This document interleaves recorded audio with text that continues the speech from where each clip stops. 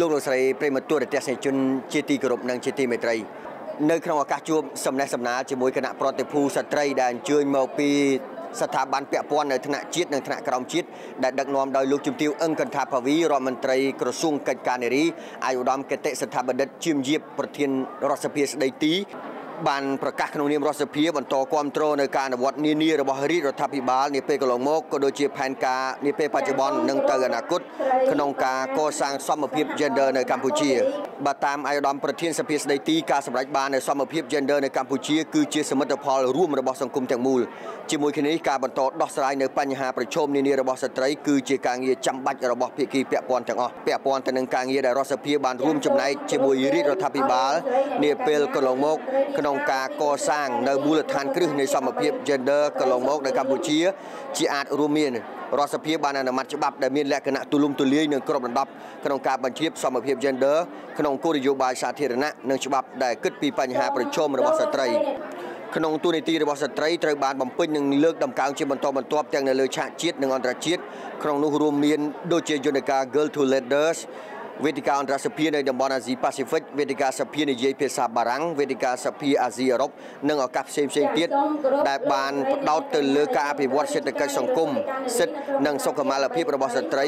កុមារយុវជននិងមនុស្សចាស់ជាដើមបន្ថែមលើពីនេះទៀតតាមរយៈកិច្ចប្រជុំប្រចាំឆ្នាំនៃវេទិកាសភាអាស៊ីប៉ាស៊ីហ្វិកលើកទី31នៅទីក្រុងម៉ានីលប្រទេសហ្វីលីពីនកាលពីថ្ងៃទី23ដល់ថ្ងៃទី26ខែវិច្ឆិកាឆ្នាំ2023កន្លងទៅសភាកម្ពុជាក៏បានជំរុញឲ្យមានការអនុម័តលើសេចក្តីសម្រេចស្ដីពីសមភាព gender និងគោលដៅអភិវឌ្ឍប្រកបដោយចីរភាពនិងសេចក្តីសម្រេចស្ដីពីការចូលរួមនិងភាពជាអ្នកដឹកនាំរបស់ស្ត្រីផងដែរ និយាយពីក្របខ័ណ្ឌតំបន់អាស៊ានតាមរយៈមហាសន្និបាតអន្តរសភាអាស៊ានហៅកាត់ថា IPAL លើកទី43ដែលសភាកម្ពុជាធ្វើជាម្ចាស់ផ្ទះកាលពីឆ្នាំ2022កន្លងទៅសភាកម្ពុជាក៏បានខិតខំប្រឹងប្រែង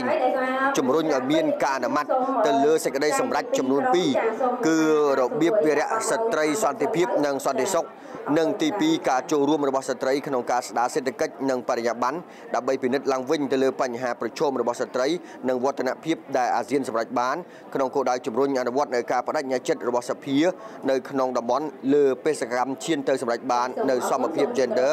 តាមការកំណត់របស់គោលដៅអភិវឌ្ឍប្រកបដោយចីរភាពលោកលស័យប្រិមត្តទូរទស្សនិកជនជាទីគោរពនិងជាទីមេត្រីទោះបីជាមានកិច្ចខិតខំប្រឹងប្រែងជាបន្តបន្ទាប់ពីរាជរដ្ឋាភិបាលក៏ដូចជាការចូលរួមចំណាយរបស់រដ្ឋសភាប៉ុន្តែបញ្ហាប្រឈមនានារបស់ស្ត្រីនៅតែបន្តកើតមានដែលនេះគឺជាយន្តការចាំបាច់មួយដែលទាមទារឲ្យមានការចូលរួមបន្ថែមទៀតពីគ្រប់ តួអង្គរបស់សង្គមដើម្បីឈានទៅសម្រេចបាននៅគោលដៅសមភាព gender គឺកាត់បន្ថយគម្លាតនៃការរើសអើងរវាងបរិសុទ្ធនិងស្ត្រីជាដើមនោះជាថ្មីម្ដងទៀតអាយុដំកតេសេដ្ឋាបណ្ឌិតជាមជីបក្នុងនាមរដ្ឋសភាទាំងមូលក៏បានប្រកាសបន្តគ្រប់គ្រងនៅបេសកកម្មនានារបស់រដ្ឋាភិបាលក្នុងការតាក់តែងច្បាប់ការពិនិត្យពិភាក្សាអនុម័តក៏ដូចជាការតាមដានអនុវត្តច្បាប់នានាដើម្បីឲ្យច្បាប់ទាំងអស់នោះអាចឆ្លើយតបទៅនឹងសេចក្តីត្រូវការនិងរួមចំណែកដោះស្រាយនៅបញ្ហាប្រឈមដែលនៅសេសសល់របស់ស្ត្រីជាពិសេសគឺគោលដៅដើម្បីឈានទៅសម្រេចបានបាននូវសមភាព gender ក្នុងគោលដៅរួមមួយដើម្បីផ្ដល់ផលប្រយោជន៍សម្រាប់គ្រប់ភាគីពាក់ព័ន្ធទាំងបរិសុទ្ធស្ត្រី និងអ្នកដែលមានអត្តសញ្ញាណ gender ផ្សេងផ្សេងនៅកម្ពុជា